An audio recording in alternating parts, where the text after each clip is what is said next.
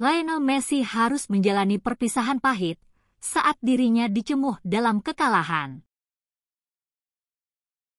PSG telah mengonfirmasi sebelum kick-off bahwa Messi tak memperpanjang kontraknya.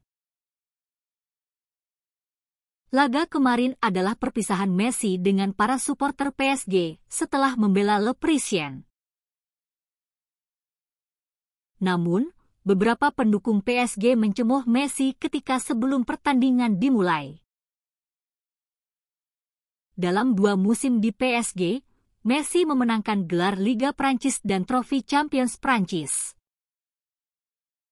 Secara keseluruhan, musim ini mengecewakan setelah tersingkir Liga Champions. Para penggemar klub telah mengungkap ketidaksenangan mereka beberapa pekan terakhir. Messi dicemuh saat kekalahan Paris Saint-Germain 2-3 dari Clermont Foot. Para pemain PSG dan tim teknis menerima trofi Ligue 1 setelah pertandingan.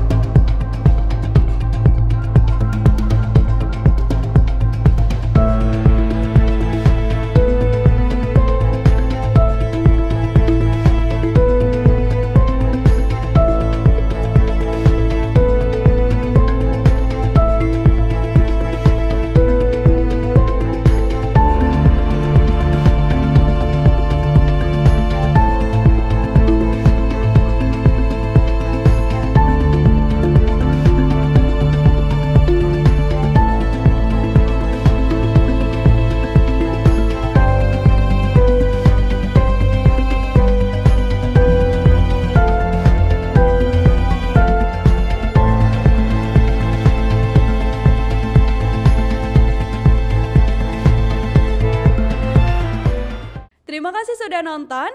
Jangan lupa like, subscribe, dan share ya.